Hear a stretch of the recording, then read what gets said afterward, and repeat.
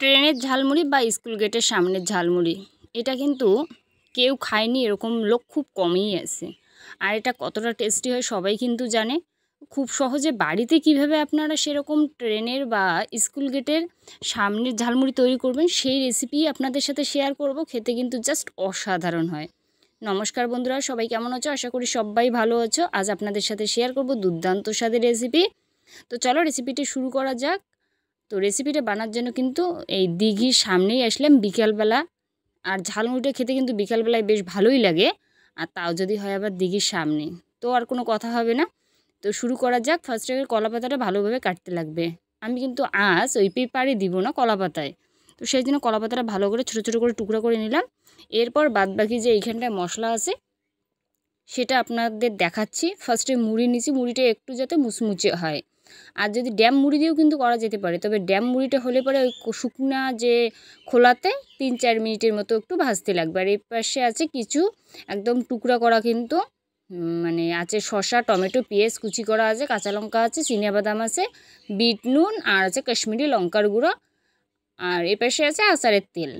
তো মুড়িটার সাথে মেশানো লাগবে ফার্স্টে পেঁয়াজ, কুচি, একে একে সবগুলোই দিয়ে দিব।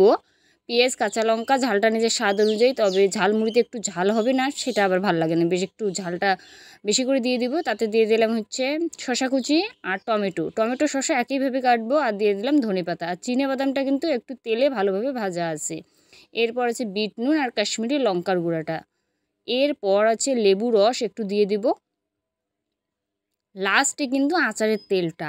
আর আচারের তেলটা কিন্তু আচার সমেত আছে, সেটা কিন্তু দিয়ে দেবো। বেশ অনেকটাই কিন্তু দিয়ে দেবো, বড় চামচের, তিন চামচের মতো। যাতে মুড়িটা, মাখাটা যেন একটু চিপচিপে হয়, তেল চিপচিপে, তবেই কিন্তু আসল স্বাদ আসবে।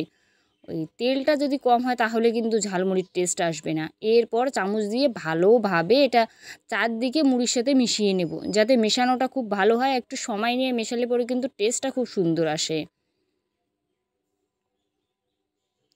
তবে হাতের ছোঁয়া না হলে এই ঝালমুড়ি কিন্তু টেস্ট আসে না। একটু হাতের ছোঁয়া থাকবে তবে কিন্তু আসল টেস্ট আসবে।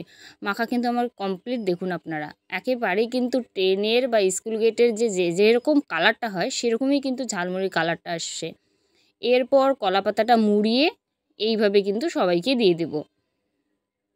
দেখুন, পেপারে যেভাবে আমরা মুড়িয়ে খাই, সেভাবেই দিয়ে দেবো।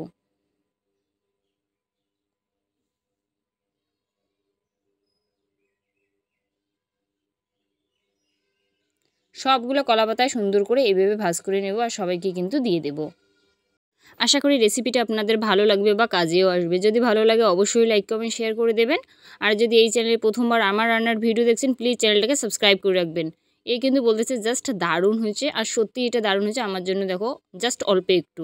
আশা করি রেসিপিটা আপনার সত্যিই ভালো লাগবে। বাড়িতে বানিয়ে যদি দেখেন তাহলে জানাতে ভুলবেন না এটা কীরকম হয়।